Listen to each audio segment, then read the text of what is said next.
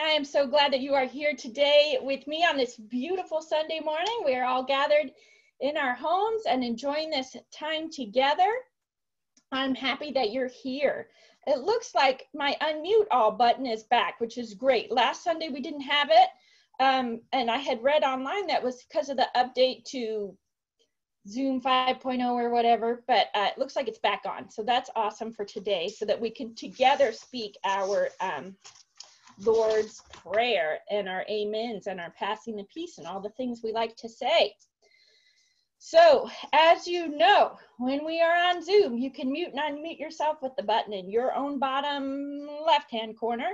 And in the upper right hand corner is where you can switch from uh, speaker view to gallery view. Gallery view shows you about 25 of us, and speaker view shows you someone who's talking or something close to it. Today we are having communion. So see if you have something. I have communion bread here, and this is uh, full of juice that we poured out of a juice box because we didn't have any juice today at our house. So uh, see what you have at your house so that you can celebrate communion when we get to that part of the service. Uh, we have some new music leaders today, so look forward to people singing the hymns and special music.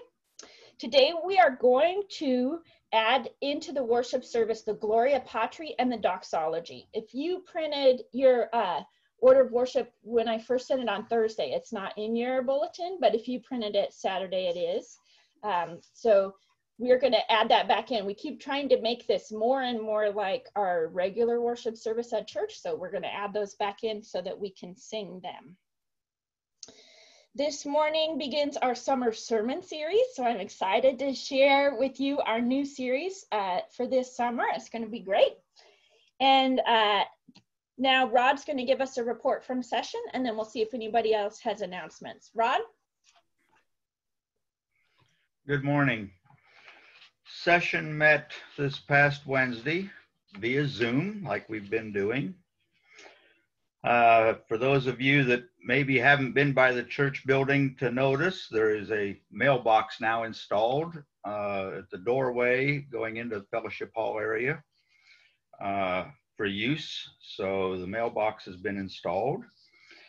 The church has uh, acquired a new church policy on all of our properties with Church Mutual. And I would just like to, I, I'm not sure how far to go here because Session kind of made a couple different statements, so I'm going to do it and they can fuss at me if I've overstepped my bounds. They wanted me to give some kind of a, a report on, on the discussions on the COVID-19 issue and our doing things face to face versus virtually with the, uh, as a church. And so I would just like to say that Session is continuing to evaluate the virtual church versus the in-person church. COVID-19 is very prevalent around us yet today. There is no vaccine. There have been no cures yet available. So in concerns over establishing how to go back to face-to-face -face church and concerns over how to police wearing of masks, proper cleaning of the sanctuary, bathrooms, facilities as a whole, and keeping everybody safe. Uh, at this point, Session feels that we should continue with the virtual worship until we, till Session feels that everybody can return to worship without any concerns over health, over age, over conditions, over policing of how we're going to get along with each other. So at this point, they are still taking all of this into assessment and each month they're reviewing this. And so please bear with us as we try and satisfy the needs of all of our members of the congregation, not just a few. I've also been asked to give a bit of a report on our financials. As of this point in time through the end of May, which is what our financials reports are to session. Uh, it's always, we meet in June, we get the May report. We're 41% of the way through the year. Our pledges are at 60%. Our overall expenses are at about 35%. Um, our total income for the year is running at about 47%. Again, we're only 41% of the way through the year, so we're looking good. Although the month of May did show that we were short on our income versus our expenses for the month. But overall, things are looking pretty good. And because of that, we are continuing to try to keep our staff employed and plan to continue to do that as long as resources are available. And just a reminder to everybody, if you have made a pledge to the church, please try and continue to send that pledge in so that we can continue to doing the things as a congregation that we like to do. Thank you. Thank you, Rod, for sharing that report from session. Are there other announcements folks have that they would like to make this morning? Unmute yourself or wave your hand. I don't see anybody frantically trying to make an announcement. And so we will then uh, begin the worship service. So I invite you to take a moment and center yourself in this time and space. I know that we are not in our sanctuary, but wherever we are gathered in Jesus' name is a holy place. If you are able, put your feet on the floor, center yourself, feel your body, center yourself into this moment. And we will take some deep breaths together. Breathe in and out.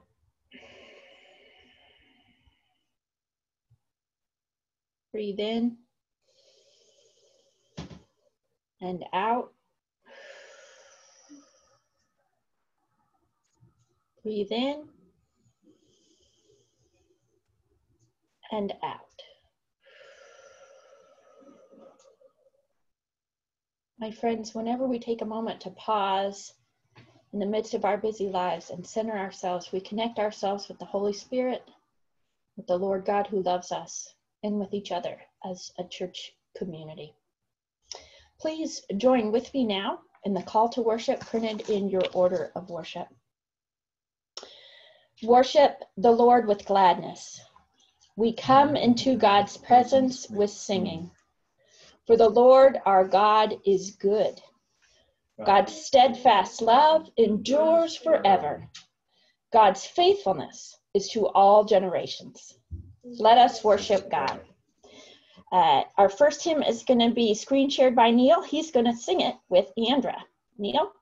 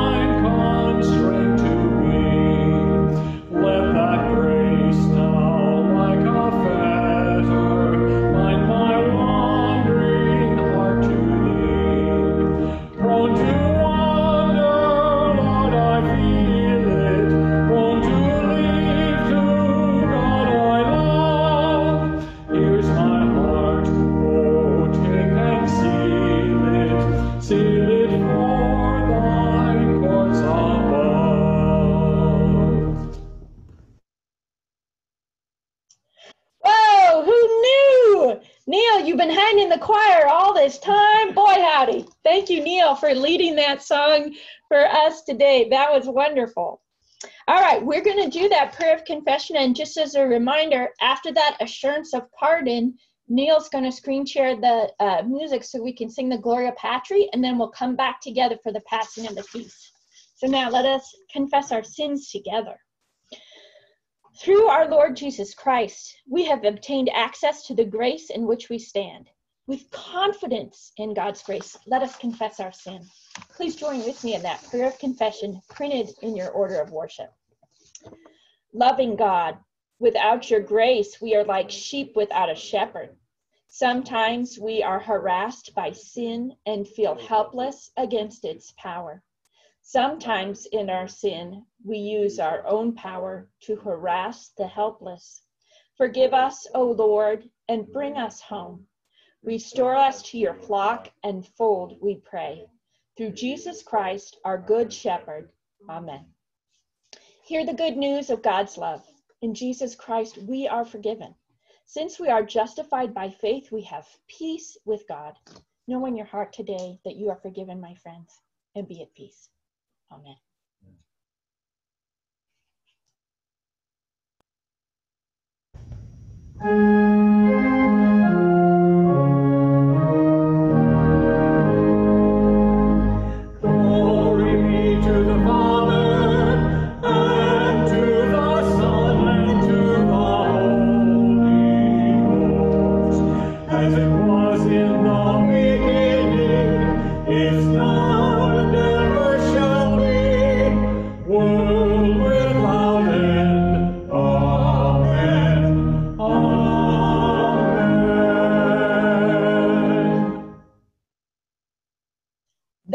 Awesome. Thank you, Neil and Kathy, for that, and Andrea for that awesome recording. That was awesome.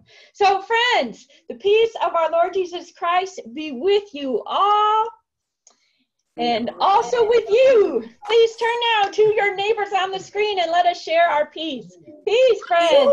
Peace. Peace. Peace. Peace. Peace. Bye. Everyone. Peace. Peace. Mm-hmm. I copied the wrong bulletin. Peace, Diana. Oh, it's my fault. I gave you Easter on accident.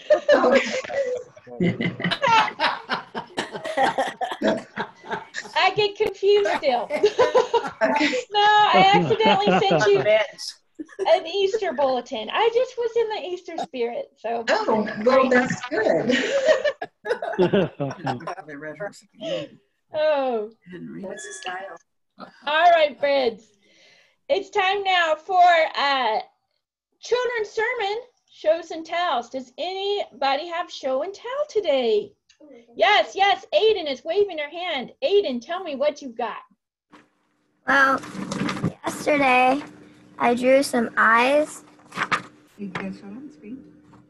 And I drew Nice. one and I drew this one. Those are cool. Nice drawings.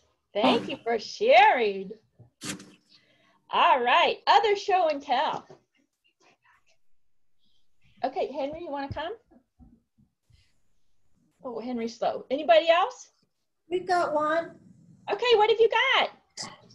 I started my painting, something that I am pretty proud of, but Very it's, nice. it's going to be a kind of meadow at night. Oh, love it. I love the colors. That's awesome. Who else had show and tell? Okay, Henry.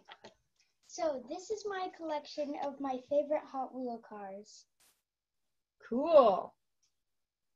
Hot Wheels in a box. That's awesome. Thank you. Others?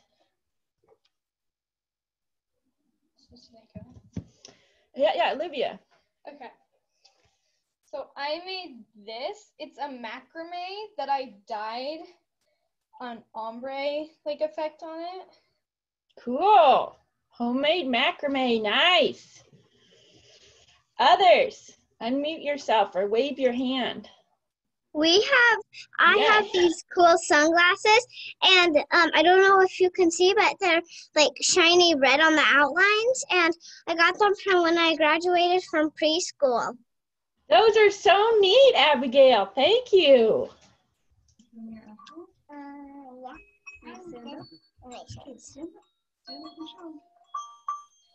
I, uh, red apple.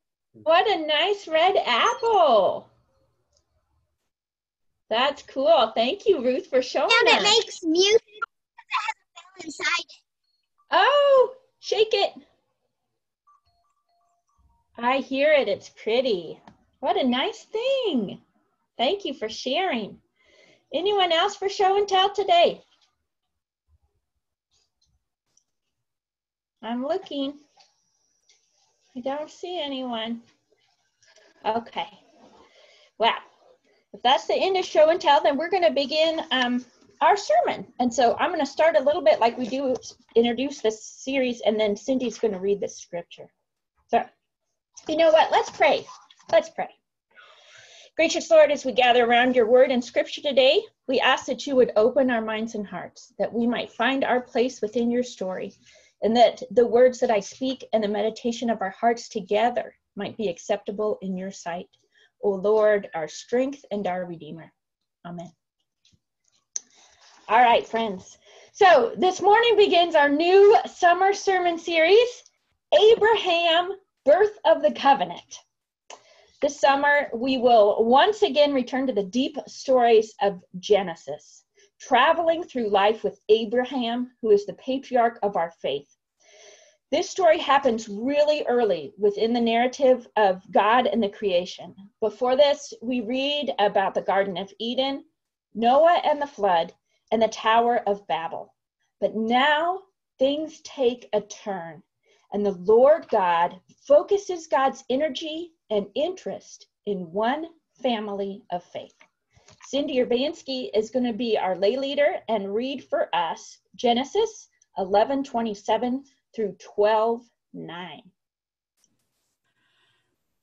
Am I, uh, okay. Now these are the descendants of Terah.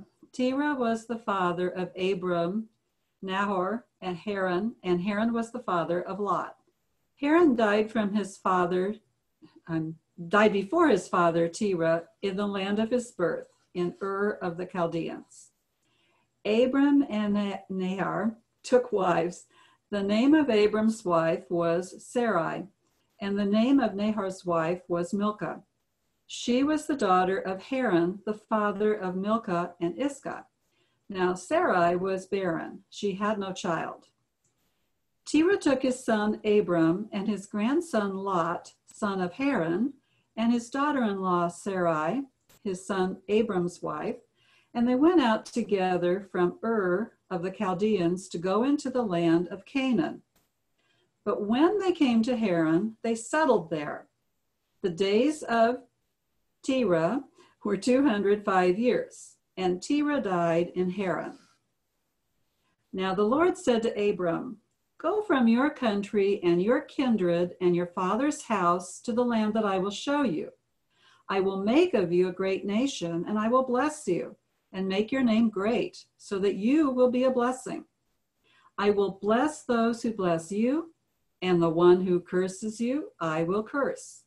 And in you, all the families of the earth shall be blessed. So Abram went as the Lord had told him, and Lot went with him. Abram was 75 years old when he departed from Haran. Abram took his wife Sarai and his brother's son Lot, and all the possessions that they had gathered and the persons whom they had acquired in Haran. And they set forth to go to the land of Canaan. When they had come to the land of Canaan, Abram passed through the land to the place at Shechem, to the oak of Moreh. At that time, the Canaanites were in the land. Then the Lord appeared to Abram and said to, said, to you, to your offspring, I will give this land. So he built there an altar to the Lord who had appeared to him. From there, he moved on to the hill country on the east of Bethel and pitched his tent, with Bethel on the west and Ai on the east. And there he built an altar to the Lord and invoked the name of the Lord. And Abram journeyed on by stages toward the Negev. And that's the end you, uh, Cindy, for reading that. And poor Cindy signed up for lay leader in June, not realizing it would be Abraham and all the wonderful names of Genesis. So thank you to Cindy for being a trooper. So first off, just I want to note that here Abraham and Sarah are called Abram and Sarai. God's going to change their names later on in the story, and we will get to that. But for matters of clarity and convenience, I'm going to refer to them throughout this sermon series by their later titles, Abraham and Sarah, because that's what we're most used to and most recognizable for us. So, the story of Abraham begins in barrenness. This is really significant. Not only have Abraham and Sarah been unable to have a child, the whole creation experiment itself has been barren. God set out a plan for life, but all along the creation and humanity have disappointed and resulted in death instead. The grand experiment has been a failure. From sin in Eden to waste in the flood, to the pridefulness of Babel. Barrenness is the way of human history so far. We have been literally good for nothing. The creation is barren of hope for redemption, and overall, it is a metaphor for the hopelessness of both God and man. In this moment in Genesis, the focus shifts the text moves from the world stage to a single family and a single man. Scholar Walter Brueggemann says it best when he writes The one who calls the worlds into being now makes a second call. This call is specific. Its object is identifiable in history. This call is addressed to aged Abraham and barren Sarah. The purpose of the call is to fashion an alternative community in creation gone awry, to embody in human history the power of the blessings. It is the hope of God that in this new family, all human history can be brought to the unity and harmony intended by the one who calls. God calls to Abraham with a promise. Go from your home and your kindred. Go to a new land, and I will bless you and make of you a nation. The call is to move and to trust. Abraham is 75 years old. Friends, I know there are some among us here today that are near the age of 75. So take a moment and think. Abraham is 75 years old and Sarah is barren. How can a great nation be formed from this hopeless situation? But at this point in the story, Abraham doesn't ask, he just follows directions. The text tells us that Abraham, along with his nephew Lot and all his possessions, leave Haran and journey on toward the Negev. I'm going to screen share a map and we can get an idea about how far Abraham traveled. So if you look at this map, Abraham's family is originally from here, right? Ur of the Chaldeans. And Abraham and Lot and Abraham's father travel from Ur up here, up the Euphrates River here to Haran. Remember that? It is in Haran where Abraham hears the call from God that he should move along with Sarah. And so they travel from Haran down through this region, right to the land of Canaan. And he's going to move all throughout this area because he's going to be wandering as he goes through. But we kind of get an idea when we look at this map about where he is going. Okay. Stop share. So Abraham moves down to there and he sees the Canaanites and he knows that this land that is supposed to be his currently occupied by other people. But God appears again and reiterates the promise to your offspring, I will give this land.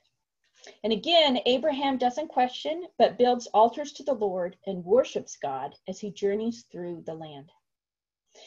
This is where the reading ends for today. And at this point, we might imagine that Abraham and Sarah are amazing people of extreme faith. But as we journey with them through the summer, I think we will find that their story is a whole lot like ours. This is a story of a family. And just like with every family, they struggle to understand the promises of God and their own roles in fulfilling those promises. This is a story of struggle, hardship, trust, and failure. Like so many of us, Abraham and Sarah will have great moments of faith and great moments of failure. But all of this story begins in barrenness. And that's the point I want to focus on today. It is into barrenness and loss that God speaks to Abraham. It is in the face of great disappointment that God decides to change strategy and try again. When God decides to reclaim creation through a relationship with one family, God does not choose the most prolific family on the block with kids by the dozens. Instead, God chooses barrenness. Abraham and Sarah, in their 70s, childless and alone except for their nephew Lot the son of Abraham's dead brother. Why these people? Why this family? Why a promise of generations and a people given to those who are so barren of life? In this story, I see God's desire to always reclaim death. God is always moving in barrenness. God is always choosing that which is broken in which to work. God is always moving in ways that are strange and foreign to us. Barrenness is the perfect canvas upon which the Lord can create life, just as death becomes the perfect canvas for resurrection, and doubt becomes the perfect canvas for the birth of the church. In our world today, I continue to see God move in barren and cold places. In the struggle with the coronavirus, we are brought together in new ways. In the death of George Floyd is born the life of a new protest movement. In the temporary suspension of worship, new ways of being church are explored. I saw this movement of God most profoundly this week in the fence that currently surrounds the White House. As you know, in response to the protests in the area, President Trump erected a large black fence around the area to keep the crowds back and safely away from the White House. I am going to screen share some pictures of this. So you can see here the fence, right? Protesters and artists have responded to this fence by creating a canvas, using the fence as a canvas. They have covered it with art, prayers, messages to the president, and tributes to George Floyd. What was originally a symbol of division has become a destination for togetherness and unity. Just like Abraham building an altar in the wilderness, this place has become an altar to our nation's new movement for justice. In a place of barrenness and loss, God has created love and new life. As we follow the story of Abraham and Sarah this summer, we will find that they are people of deep faith, that they are also people who live in the midst of barrenness and struggle to trust the promises of God. So too, we are people living in barrenness who struggle to embrace God's promise of new life in our world. Whenever we are tempted to look at our world in hopelessness, we need to remind ourselves that these places of barrenness, hopelessness, and death are the exact places where God is moving. This is what we celebrate as we gather around the communion table.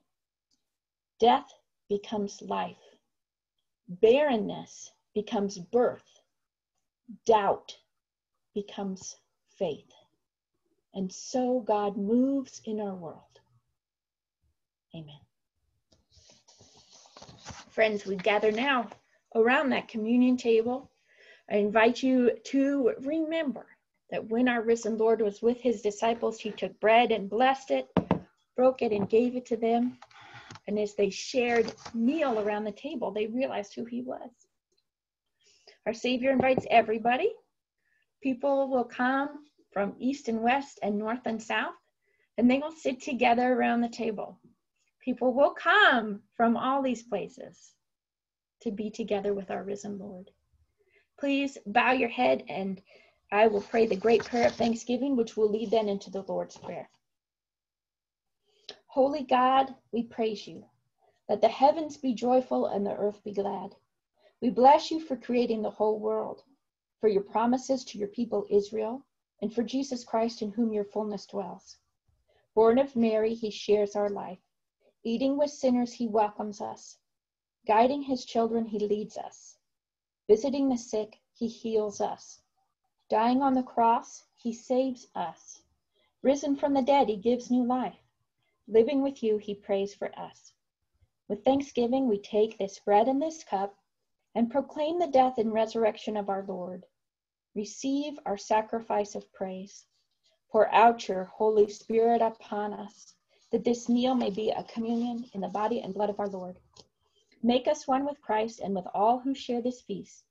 Unite us in faith, encourage us with hope, and inspire us to love, that we may serve as your faithful disciples until we feast at your table in glory. We praise you, eternal God, through Christ, your word made flesh, in the holy and life giving Spirit, now and forever. Amen. And as our Savior Jesus Christ has taught us, let us now pray together, saying, Our Father, who art in heaven, hallowed be thy name. Thy kingdom come, thy will be done Done on earth on earth as it is in heaven. is in heaven. Give us Give us this this day day our daily bread, bread, and forgive us our our debts debts, as as we we forgive our forgive our debtors. debtors, And lead and us lead us not into temptation, temptation, but deliver us deliver from us from evil. evil. For thine is the Is the kingdom, kingdom, and the the power, power, and the and the glory glory forever. forever. Amen. On the night in which he would be betrayed, our Savior took bread, and after giving thanks, he blessed it and he broke it, and he gave it to his friends. And he said, Take and eat. This is my body, broken for you. Do this in remembrance of me. In the same manner, after supper, he took the cup and said, This is the cup of the new covenant, sealed in my blood, shed for you for the forgiveness of sins. Whenever you drink of it, do so in remembrance of me.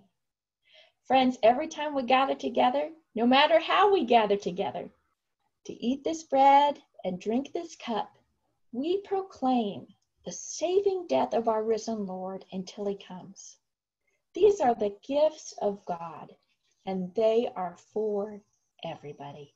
Take a moment now and celebrate communion with those who are with you. To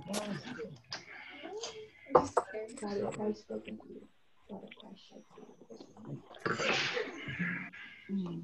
Blood Christ spoken you. You.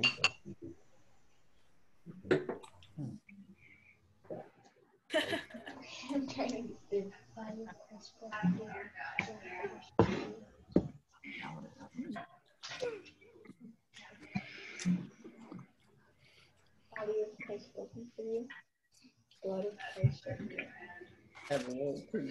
you.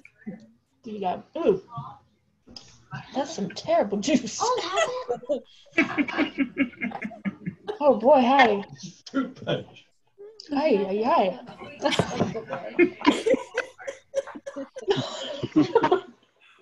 Yeah.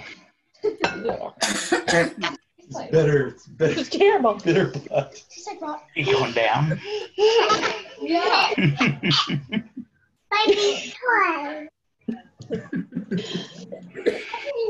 Oh my goodness. I think this is the watermelon one. Well, I don't know what we're having here, but it's terrible. I hope your? I, ho- I hope yours was better than ours.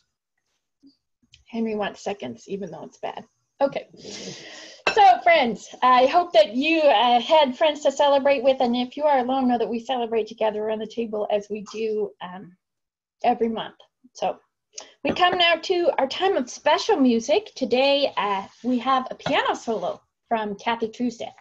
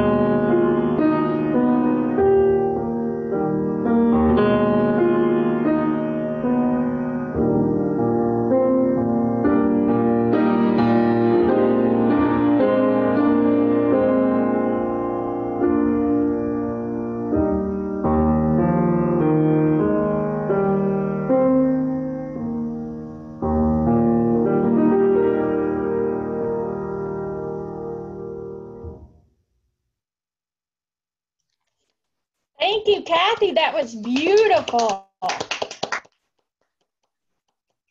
Very nice. Thank you for sharing that special music with us. We come now to our time of prayer. I've heard this week prayers for of Thanksgiving for Tara and Amber as their adoption paperwork is now complete and so they're ready for placement. Prayers also of Thanksgiving for them with their family friends visiting.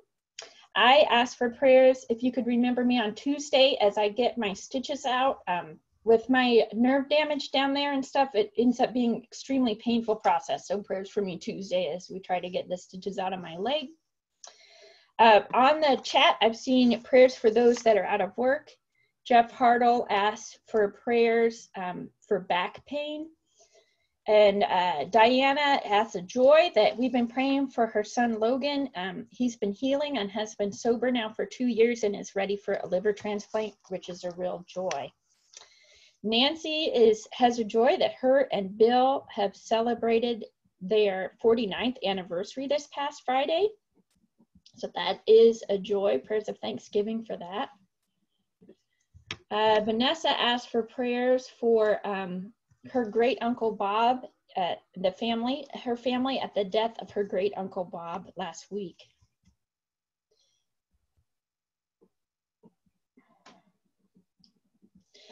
uh, unmute yourself if you have a thing you would like to share for joys and concerns today.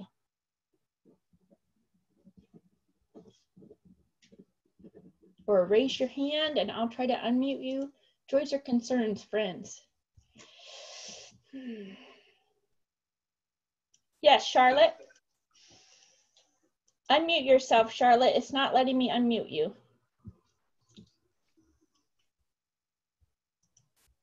It's not working. There you go. Paul's birthday is tomorrow. You'll be 37. Prayers of Thanksgiving for Paul's birthday tomorrow and the ripe old age of 37. And also for uh, the Brookshire twins, we know their birthday uh, is today and they are two. All right, others, unmute yourself or speak. The joy of seeing Rod with his granddaughter. I agree. Joy to see Rod with his granddaughter. Rod, your smile is so big when that granddaughter is in the room. So definitely a joy to see Rod and his granddaughter. Caleb asked for uh, traveling mercies as he heads back to Arkansas for Father's Day and uh, helping with the harvest that begins. Others, unmute yourself or wave your hands or type it in the chat. I am looking for you.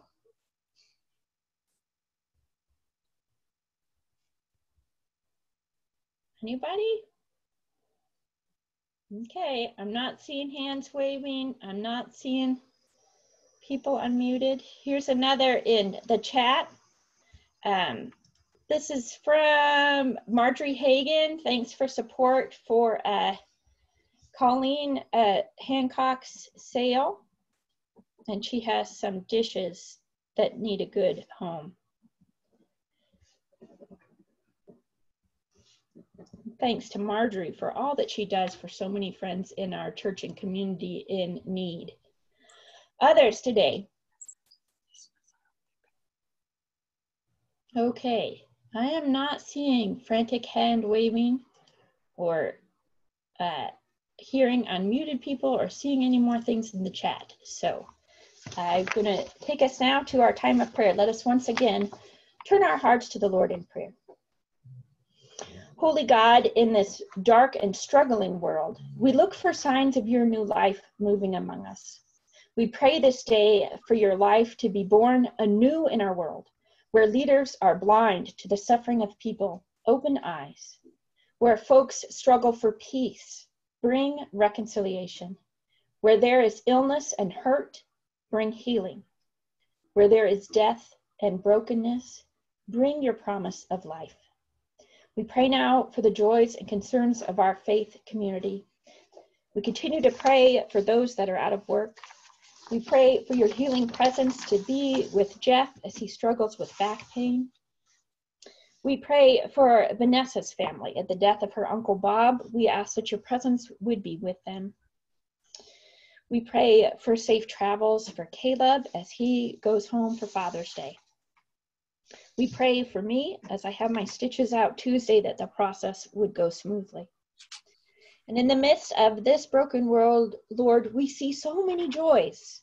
We thank you for Tara and Amber's adoption process continuing along. We pray for them as they prepare to welcome a child into their home.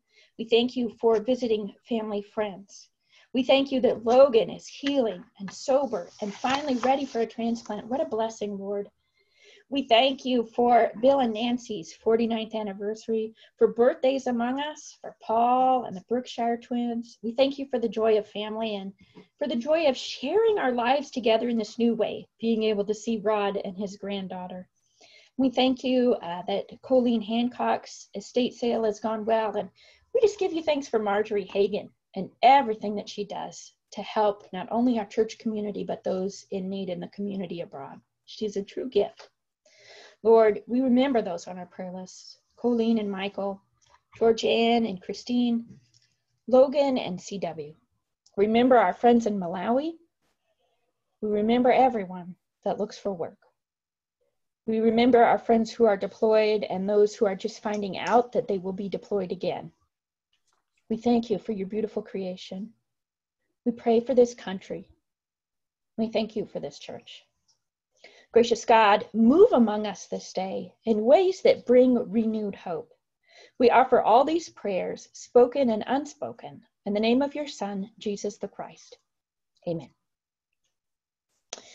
We come now to our time of offering, and although I'm not going to pass any sort of virtual plate or make you press a button so I can get your credit card for PayPal, I am going to remind you that uh, it is good to share what we have and that we respond to God's love with the gift of our lives. And so uh, uh, Neil's going to screen share a short hymn from Andra, and then we'll sing the doxology. And I invite you to once again offer your heart to the Lord during this time of offering.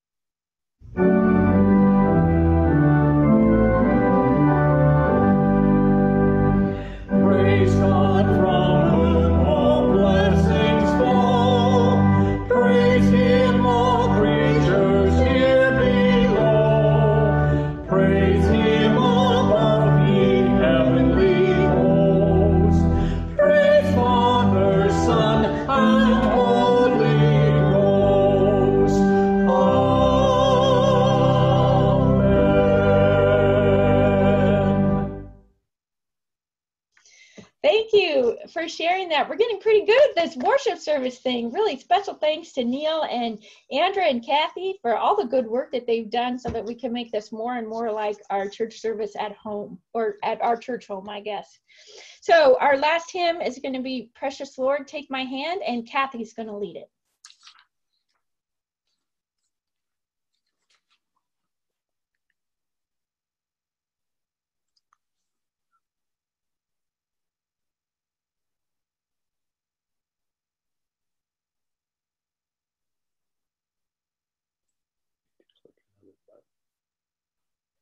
Precious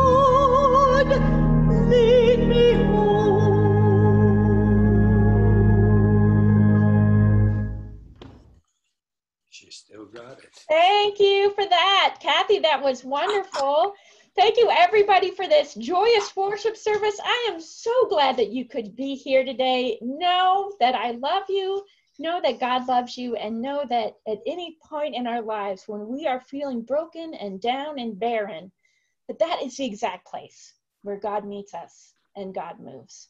Go from forth from this place in peace to love and serve the Lord and be blessed. by the love of God, the grace of our Lord Jesus Christ, and the fellowship of the Holy Spirit, now and forevermore. And all God's people say, Amen. Yay. Yay. Have a good week, friends. Thank you. Goodbye, all. Bye. Bye.